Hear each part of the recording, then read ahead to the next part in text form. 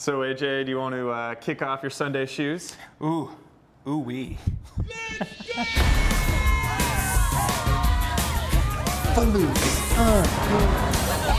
After a night of dancing and partying, five teens are killed in a tragic car accident that leads to a ban on dancing in the town of Bomont, Georgia. From our children's lives.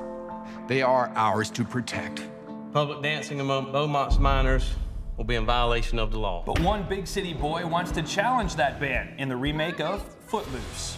The original Footloose story is from 1984 and in most circles is considered a classic 80s film. So with some big shoes to fill, what do you think? Well, why, why, why did Hollywood feel a remake was necessary?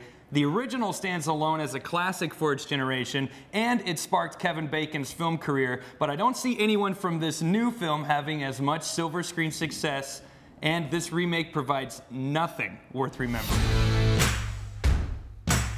He's cute. You think everybody's cute. When comparing this remake to its original and classics like Dirty Dancing, Flashdance, and Saturday Night Fever, it just doesn't hold up. Good effort, but not necessary. The addition of new music to the film was probably the best part and made it a little bit more refreshing, but overall, this is a copy and paste remake.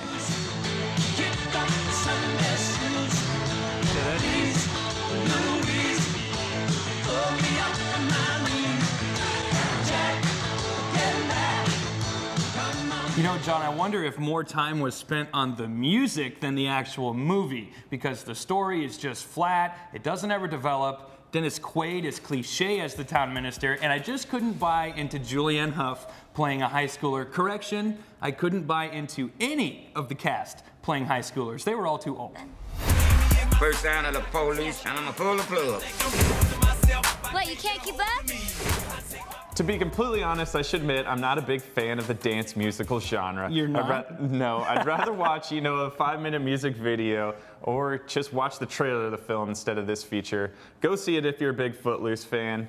It's not terrible, but definitely not worth the price of admission. If you saw the original, you've already seen the remake.